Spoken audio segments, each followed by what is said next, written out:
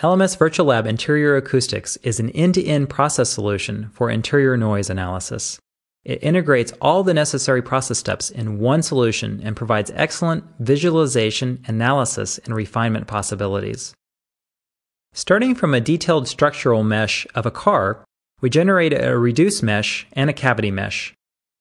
The acoustic modes are then computed and the wetted surfaces between the structural and acoustic meshes are defined. Microphone points are then generated inside the cavity. Subsequently, the reduced mesh and the cavity mesh are linked together. After computation of the noise transfer functions, we can perform a contribution analysis and visualize which inputs are contributing the most to our acoustic response.